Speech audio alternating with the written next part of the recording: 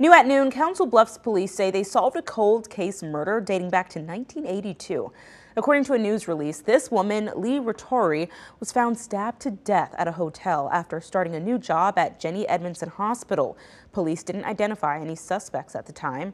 In 2001, forensic technology revealed the presence of a male DNA profile, but they were not able to identify a match. In 2019, investigators sent the DNA to a lab to begin a genetic gene genealogy case. And earlier this month, researchers were able to narrow down the source of the suspect DNA. They believe it was this man, Thomas O. Freeman. Police say Freeman was also murdered in 1982. He was shot multiple times and found in a shallow grave in Illinois. Council Bluffs police are working with the Illinois State Police Department to find out if Freeman's murder was somehow linked to his involvement in Ratori's death.